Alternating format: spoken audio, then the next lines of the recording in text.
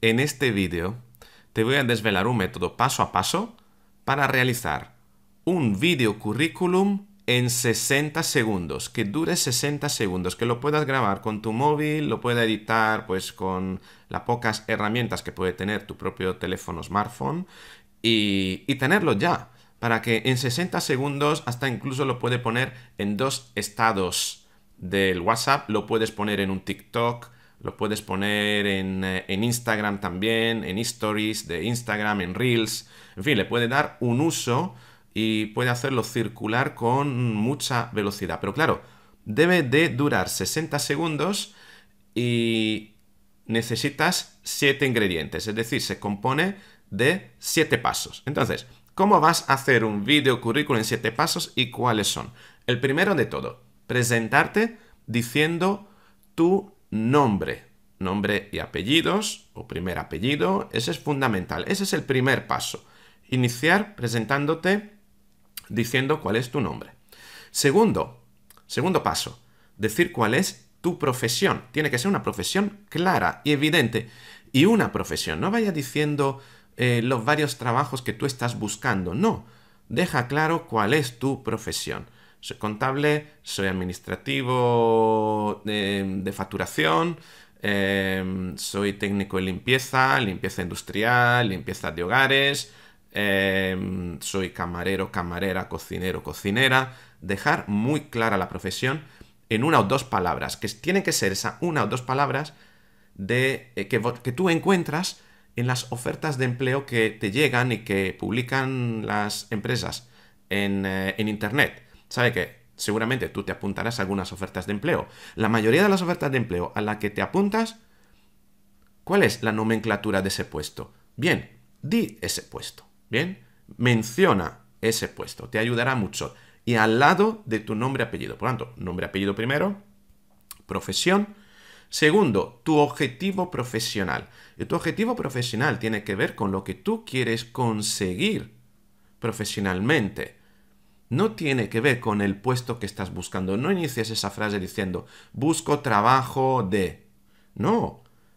Mm, trata de mencionar qué es lo que quieres conseguir, qué es lo que quiere que te permita lograr esa oportunidad laboral que buscas. ¿eh? Importante. Cuarto punto. Cuarto punto es hablar de tu aportación. Es decir, qué es lo que puedes aportar a una empresa. Me considero un profesional que eh, puede aportar, puede permitir mm, a una empresa conseguir, ta, ta, ta. ¿Vale? Bien. Em, al igual que la aportación, dentro de la aportación tú puedes añadir em, logros profesionales que has tenido. Bueno, sigue siendo el cuarto punto esto.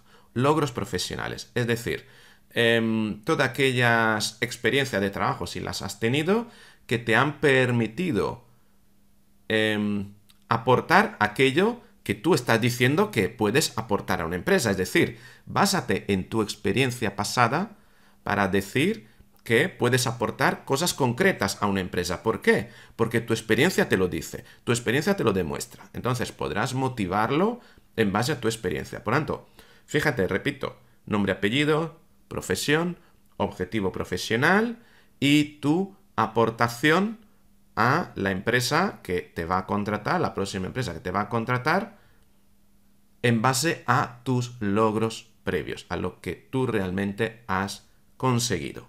Bien, una vez que tú eh, tengas esta argumentación en base a tu experiencia pasada y dejando claro qué es lo que puedes aportar, pasamos al quinto punto, que son tus fortalezas. Claro, tú tendrás unos argumentos en base a los que poder demostrar que tienes unas cualidades, unas habilidades. Podrás decir entonces, me considero una persona con actitud positiva, comunicativa, organizada, analítica, eh, capaz de trabajar en equipo. Pero las cualidades que tú elijas deben de ser cualidades que se pueden observar claramente por los logros que tú habrás mencionado anteriormente.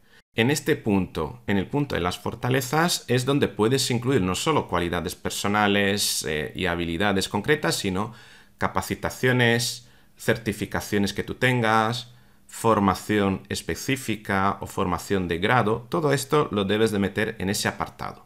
Muy importante.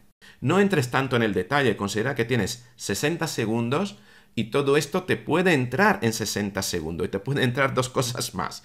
Pero claro, no debes de realizar eh, frases subordinadas, no entres en justificar o tratar de eh, razonar sobre aquello que dices. Simplemente deja frases eh, muy cortas de sujeto, verbo, complemento, punto, sujeto, verbo, complemento, punto, sujeto, verbo, complemento, punto. Bien, algún adjetivo. Estamos ya mencionando tus fortalezas para pasar después al sexto paso, sexto ingrediente, que es dar algún detalle de ti que te caracterice como persona, que permita a quien te esté escuchando que se acuerde de ti. Por ejemplo, em, me, me encanta cultivar orquídeas. Por ejemplo, eh, soy apasionado de la montaña y el verano pasado subí mi primer 4000, por ejemplo. Eh, corro triatlones o soy entrenador de triatlón. En fin, algo que permita a la persona que te está escuchando recibir una información singular eh, que haga que tu perfil permanezca eh, en, la memoria de esa persona. Tiene que ser algo singular, pero no necesariamente extravagante. Cuidado, que no te deje en mal lugar, ¿vale? Pero, no sé, me encanta bailar salsa, también lo puede decir, porque es una información tuya personal que estás dando, por lo tanto estás demostrando también que eres una persona bastante eh, sociable y que no tiene miedo de hablar de sí mismo, de sí misma, y estás marcando con algo característico de ti esa, esos 60 segundos, estás permitiendo que la otra persona te recuerde sobre la gran mayoría de otras personas de la que he escuchado o ha visto su video currículum. Bien. Em, sexto punto, finalmente, después de haber eh, dicho algo, haber lanzado, dejado algún detalle singular sobre ti, tienes el último punto, el último paso, que es el cierre. El cierre debe de ser algo muy sencillo. No hagas peticiones, eh, no hable de tus expectativas ni de tus sueños, no. Sé lo más aséptico, aséptica posible. Simplemente con una sonrisa y muchas gracias o muchas gracias por su atención es suficiente. Cuando no sepas qué decir, no trates de enrollarte diciendo una cosa u otra o mm, rebuscando la manera de terminar aquello. No, Simplemente, punto, dices el punto, pones un punto al sexto punto y dices, muchas gracias por su atención. Ni, espero que podamos tal, ojalá me llamara tal, si tuviera la oportunidad. No, simplemente sonrisa, miras a la cámara, muchas gracias. ¿Mm? Bien, esos son los siete puntos. Repito, nombre, apellidos, Em, mencionar la profesión, tu objetivo profesional, el tema de lo que puedes aportar a una empresa basado en tus logros profesionales. Em, quinto punto, hemos dicho tus eh, fortalezas. Sexto punto, sexto paso, el tema de una información singular sobre ti que te caracterice. Y séptimo, el cierre. Todo esto puede caber, y te lo garantizo, puede caber en 60 segundos. Lo que pasa es que tienes que estructurarlo. Ensaya, ensaya, ensaya, ensaya, activa tu cámara y graba, graba. Date por, por hecho que al menos vas a tener que hacer unas 10, 15 grabaciones de ti mismo, de ti misma, hasta llegar con eh, una que cubra ese minuto, esos 60 segundos. Bien, y cuando lo tengas ya cortarás el vídeo, te quedarás con la mejor exposición tuya y ya lo podrás aplicar, lo podrás utilizar donde convenga. Bien, esto es todo. Y quisiera saber, ¿te ha gustado este vídeo? Dale a like. ¿No te ha gustado? ¿O tienes algún consejo, algo que me quieras preguntar? Escríbeme en la caja de comentarios.